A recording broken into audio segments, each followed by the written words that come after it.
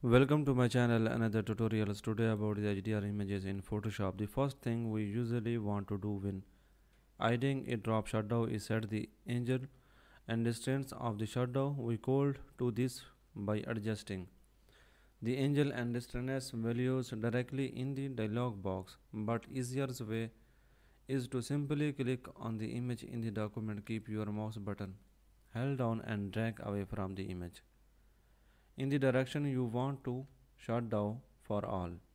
As you drag, the shadow will move along with you.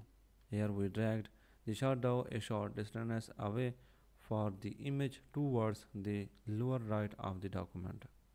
Thanks so much for watching. I will be coming next video.